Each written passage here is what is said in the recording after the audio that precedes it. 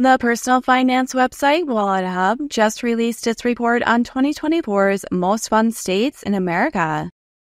Florida ranked number one, followed by California, Nevada, New York, and Colorado.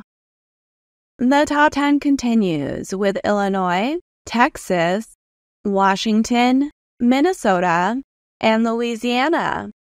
The study was based on 26 metrics.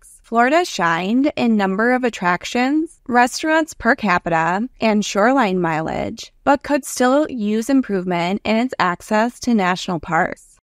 Full results can be found at wallethub.com.